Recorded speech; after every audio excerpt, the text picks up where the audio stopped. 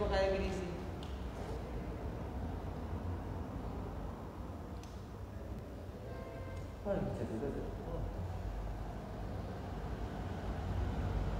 Bueno, como razonando, yo creo que viene que cante el contable. Digo, sí, viene que cante. Sí, se puede ya que viene que cante, dice, voy a cantar que explico. Ay, muy bien, Ángel, sí. Es verdad, hay parientes así.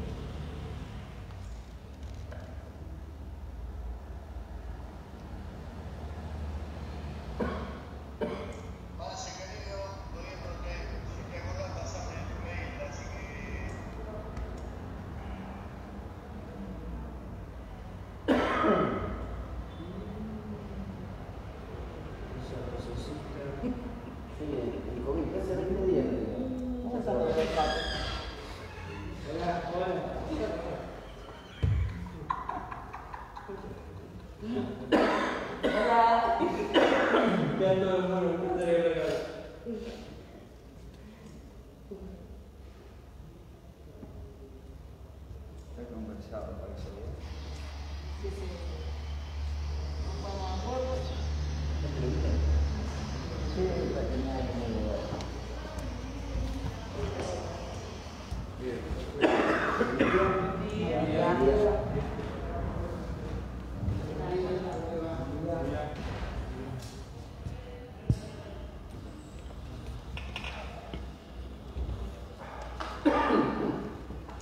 Bueno, vamos a dar el informe correspondiente al día de hoy. Los resultados han llegado en su totalidad. Tenemos del laboratorio público nueve casos positivos y 34 casos descartados.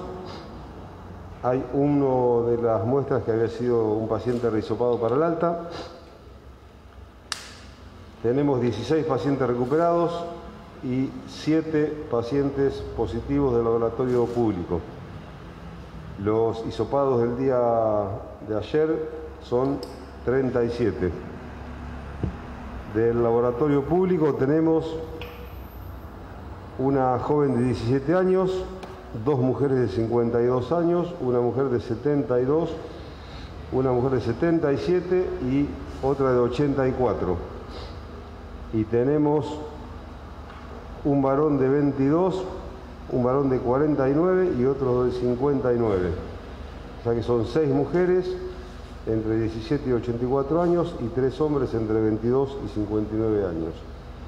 Y los positivos del laboratorio privado son en este caso una mujer de 39, dos mujeres de 63, una mujer de 69 y una mujer de 98 y eh, dos hombres de 44 y 49 años.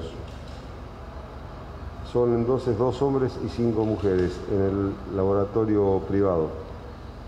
Eh, antes de pasarle la palabra al secretario de Salud, voy a decir que a partir de hoy, en, en el hospital de Moquegua, de lunes a sábados, de 8 a 19, se pueden inscribir todos los vecinos que desean eh, vacunarse, que desean inscribirse para recibir el turno posterior para la vacunación. Y a partir de mañana, viernes 29, de 8 a 13, lo pueden hacer en las delegaciones municipales de Benítez, Gorostiaga, Ayarza y Palemón Huergo. Y a partir del lunes, también de 8 a 13, en la delegación municipal de La Rica, de San Sebastián y de Ramón Biaus. Esto es para sumar la mayor cantidad de vecinos que deseen inscribirse para recibir la, vacuna cuando la tengamos. Además, por supuesto, de todo lo que ya hemos anunciado y que se está ejecutando en, en Chivilcoy, ¿no? Buenos días.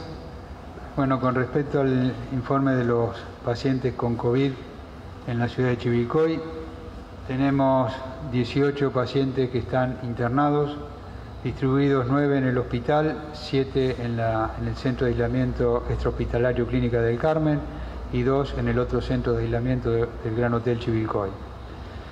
De los pacientes que se encuentran en el hospital municipal, 5 están en la sala COVID, hay una paciente que continúa en estado crítico dos pacientes con pronóstico reservado. En UTI no tenemos en este momento pacientes positivos, tenemos dos pacientes sospechosos y ninguno de ellos en asistencia respiratoria.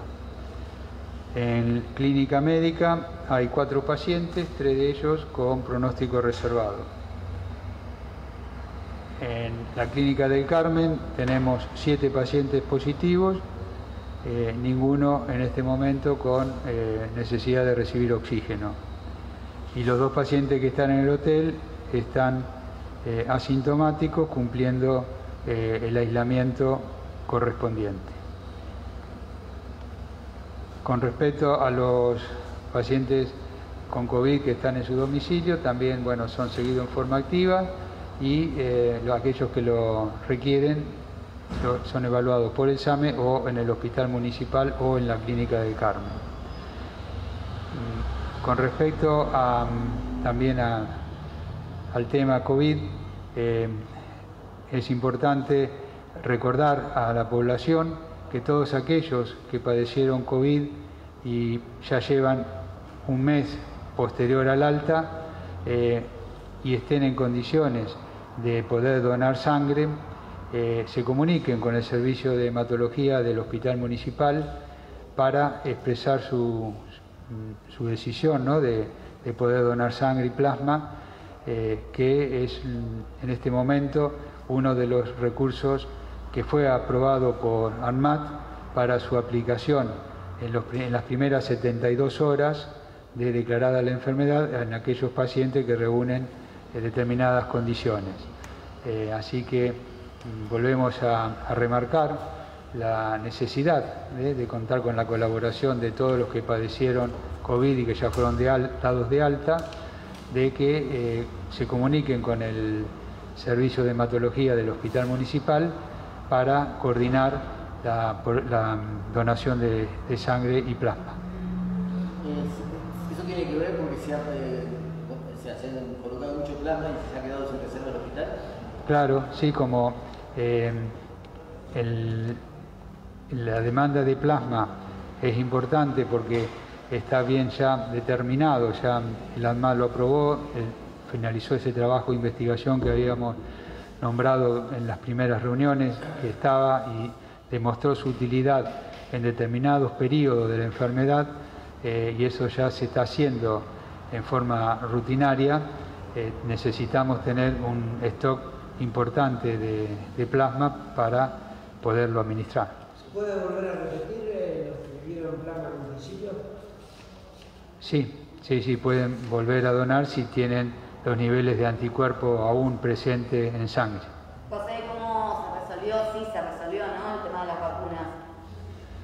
Eh, estamos esperando la llegada de la primera dosis, tenemos la segunda dosis, se están aplicando la segunda dosis a partir de, de hoy, jueves, viernes y sábado, que son los días que se decidió el Ministerio que se aplique la segunda dosis y estamos esperando la primera, que llegue nuevamente primera dosis, porque ya no, se nos terminaron las 900 dosis que recibimos en esos dos envíos.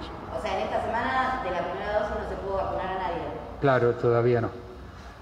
José, estas personas que han referido eh, eh, la comunicación acerca de que son COVID positivo ha sido telefónica, por medio de un profesional que no han recibido una constancia, la persona que lo, requiera, que lo necesite, lo puede, ¿se puede pedir, se puede extender eso, el certificado? La persona que... La que fue, la que fue positiva, la que se le informó telefónicamente que fue positiva. Sí, todas las personas que se le informa eh, telefónicamente que es positiva, tiene que mm, enviar a alguien, ¿no es cierto?, eh, que no tenga condición de aislamiento, que pueda circular al laboratorio del hospital municipal a retirar el, comprobante del CISA, donde dice que tiene detectable el virus en, sangre. Eso después de entre las 10 y las 12 de la mañana pueden pasar a retirar el, informe del laboratorio del hospital. Doctor, estos contagios de hoy, estos 16 contagios de hoy, eh, ¿tienen que ver con algún caso en especial, algún tipo de, de relación familiar, alguna reunión, algo? No, son... Hay muchos que, eh, algunos, que están relacionados con eh, una, un positivo que es una enfermera que hace el recorrido de eh, internación domiciliaria. Hay un par de casos que tienen esa característica y, después lo- los otros no. Los otros son contactos familiares. ¿Cuál es alguna noticia de cuándo llegará la vacuna para la primera dosis? Y el avión este, estará llegando hoy, así que eh, igualmente la primera dosis se aplica lunes, martes y miércoles. Yo calculo que ni bien empiecen a distribuir la vacuna, eh, vamos a tener ya para poder arrancar el lunes con la primera dosis. Muchas gracias. Gracias, a ustedes.